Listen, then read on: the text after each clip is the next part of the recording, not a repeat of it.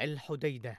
اتفاق من أجل تمكين سيطرة ميليشيا الحوثي أم لاختبار صبر المقاومة والجيش الوطني وامتهان المواطن الذي لم تنتهي معاناته بالاتفاق بل تفاقمت مع تزايد خروقات الحوثيين وتوقف العمليات العسكرية لقوات الشرعية. حصاد الألغام الحوثية مستمر ويفتك بالمدنيين.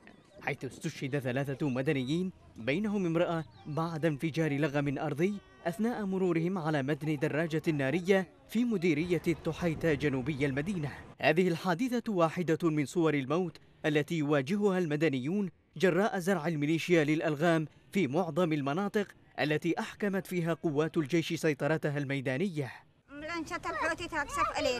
تخوف بنحنا. تخوف إحنا دمرنا منازل ودمرنا بيوت ويهب القومات.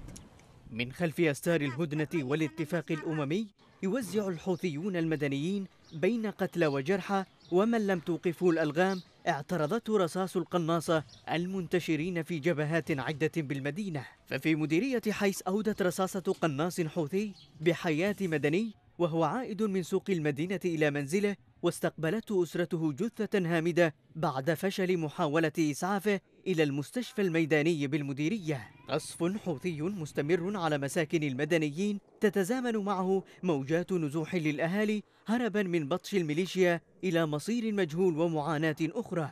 عشرات الأسر تركت منازلها ونزحت إلى منطقة الحيمة التابعة لمديرية الخوخة. لم يضع اتفاق الحديدة الأممي أي حد لمعاناة المدنيين ولم يمثل أي ضغوطات على ميليشيا الحوثي التي أجبرت الأهالي على مغادرة قراهم ومنازلهم ومفارقة ذكرياتهم كرها لا يدري بعضهم إلى أين يشد رحاله.